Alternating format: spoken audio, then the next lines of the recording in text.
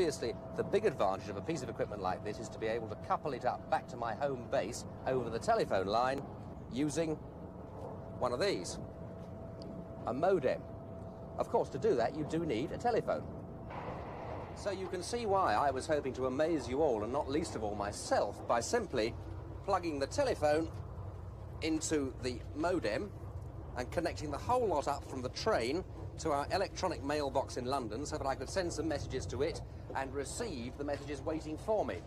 The only problem is, it's a payphone, and none of us have got enough change to make the call to England because we have to bring a sack of money in here to do it. Added to which, when we did test it, the line is too noisy for this particular modem.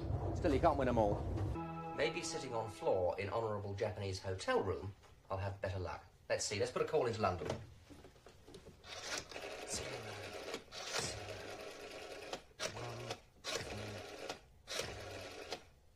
One.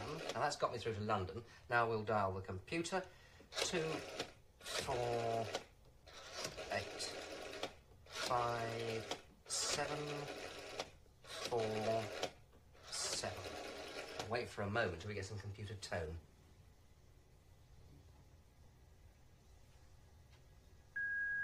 Yes, there it is. Now, we've got to make a very good connection here with the modem.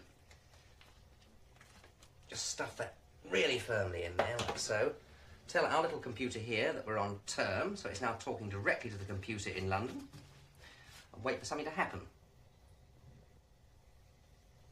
Yes, there goes the cursor now, flashing across the screen.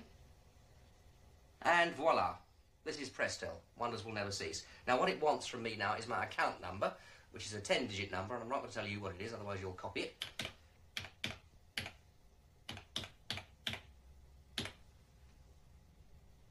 A moment or two while it assimilates that.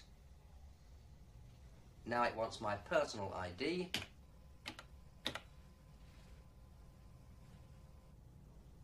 And off we go with the messages.